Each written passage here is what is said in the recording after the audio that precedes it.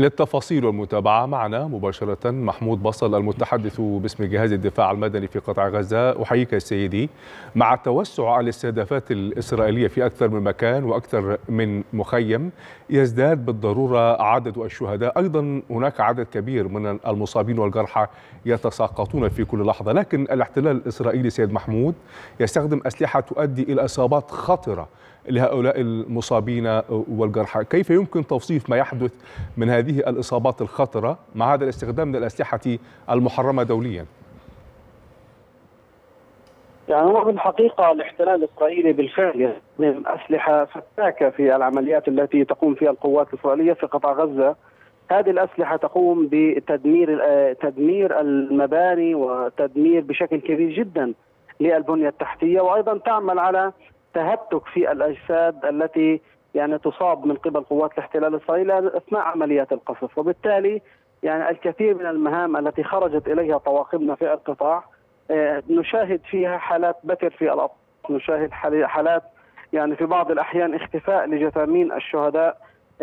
نشاهد الكثير من الأشياء التي حقيقة تؤكد أن الاحتلال الإسرائيلي يعني يقوم باستخدام أدوات يعني أدوات صعبة جدا وأدوات ربما نقول أنها يعني تقتل فظيع جدا في صفوف المواطنين وهذا الأمر للأسف الشديد يعني ربما كنا نلاحظه في الحروب السابقة لكن ليس بهذه الطريقة نعم. وليس بهذه الأعداد الكبيرة التي تحدث في قطاع غزة يعني اليوم إحنا بنحكي في كل تقريبا في كل منزل يتم استهداف في قطاع غزة ربما يكون هناك حالات بتر في هذا المنزل وأيضا نعم. هناك حالات اختفاء لجثامين المواطنين في ما بين كل يعني عدة منازل يحدث هذا في منزل وبالتالي نتحدث عن أرقام كبيرة. مع اختفاء الجثامين أيضا سيد محمود هناك أيضا عدد كبير من جثامين الشهداء في قطاع غزة ما زالت تحت الأنقاض. الصعوبة هنا في استخراج هذه الجثامين التي تتحلل بالضرورة وتؤدي إلى كارثة بيئية وصحية في المناطق المتواجدة فيها وخاصة في ظل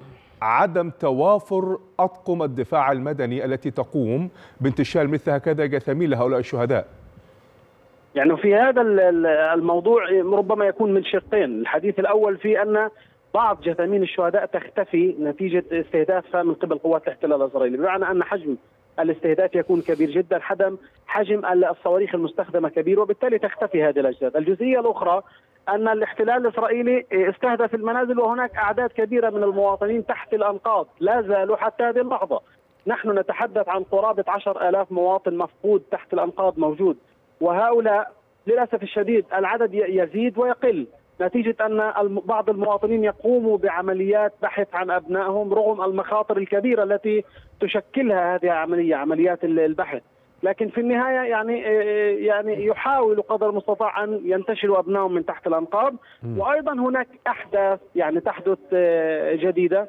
ويكون هناك أيضا يعني بقايا لجثث موجودة تحت الانقاض وبالتالي نجد أن تقريبا التوتال الإجمالي لأعداد الشهداء أو المفقودين تحت الانقاض قرابه العشر آلاف شخص. لكن قضية انتشال هؤلاء البواطنين يحتاج نعم. إلى إمكانات متخصصة. بمعنى في السابق منذ بداية الحرب كنا نتعامل مع هذا الأمر ونستخدم الحفارات ونستخدم الجرافات بشكل كبير ونبدأ بعمليات انتشال الجثامين بمعنى كنا لا نبقي أي جثة تحت الأنقاض.